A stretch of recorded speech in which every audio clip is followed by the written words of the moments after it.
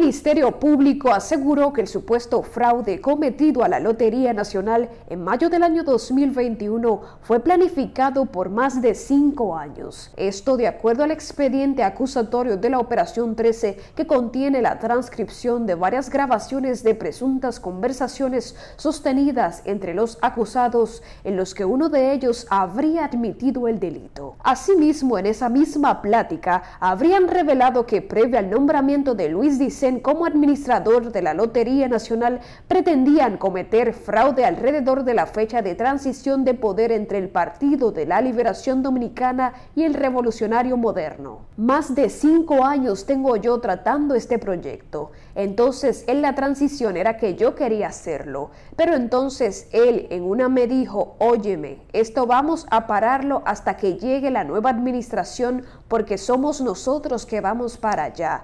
Leía parte de la transcripción, declaración que los fiscales le atribuyen al imputado Felipe Santiago Toribio, conocido como el Chago. Además de Toribio, el órgano persecutor aseveró que en la conversación participaron Valentina Rosario y Leonidas Medina Arbelo, alias Nazaret Onaza, quien se encuentra prófugo de la justicia. En el intercambio también hacen mención del también encartado William Lisandro Rosario Ortiz, expresidente de la Federación Nacional de Bancas FENABANCA, de quien dicen fue quien inventó el sistema utilizado en la lotería. Por Operación 13 guarda en prisión preventiva como medida de coerción, dicen Rosario Ortiz y Eladio Batista Valerio, mientras que Rosario, Jonathan Brea, Carlos Verigüete y Toribio cumplen prisión domiciliaria. Además, Edison Manuel Perdomo Peralta, Miguel Mejía, Rafael Mesa le fue impuesta presentación periódica e impedimento de salida del país. A continuación, un fragmento de la transcripción de la supuesta conversación.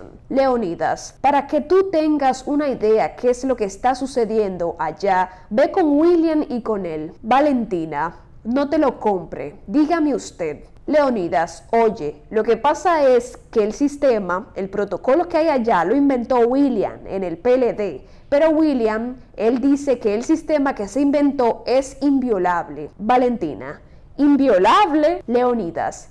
Él dice, mira, yo lo he buscado, yo tengo mucho tiempo. Pregúntale a él tratando este proyecto.